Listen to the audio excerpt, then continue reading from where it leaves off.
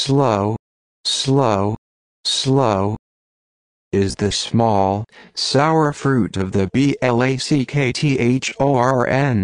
Slow, slow, slow.